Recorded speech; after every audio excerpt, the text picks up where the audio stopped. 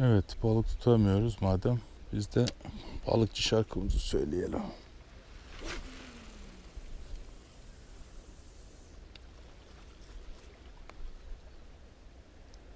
Belki balıklar bize acır da gelir.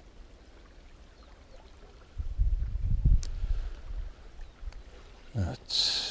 Oltalar elimizde, uzun ip makinede, biz gideriz balığa hey balığa.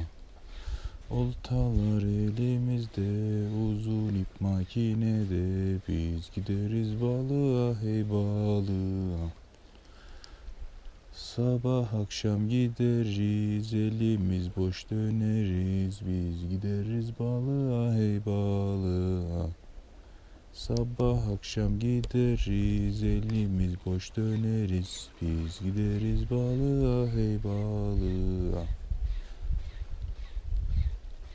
Evden balık beklerler, elin boş dönme derler, biz gideriz balığa hey balığa. Evden balık beklerler, elin boş dönme derler, biz gideriz balığa hey balığa. İşte şarkı da işe yaramadı değil mi? Ya arkadaş Ölü Deniz Gazi Paşa'da değil ya. Ölü Deniz Fethiye'de. Bu nasıl bir denizdir?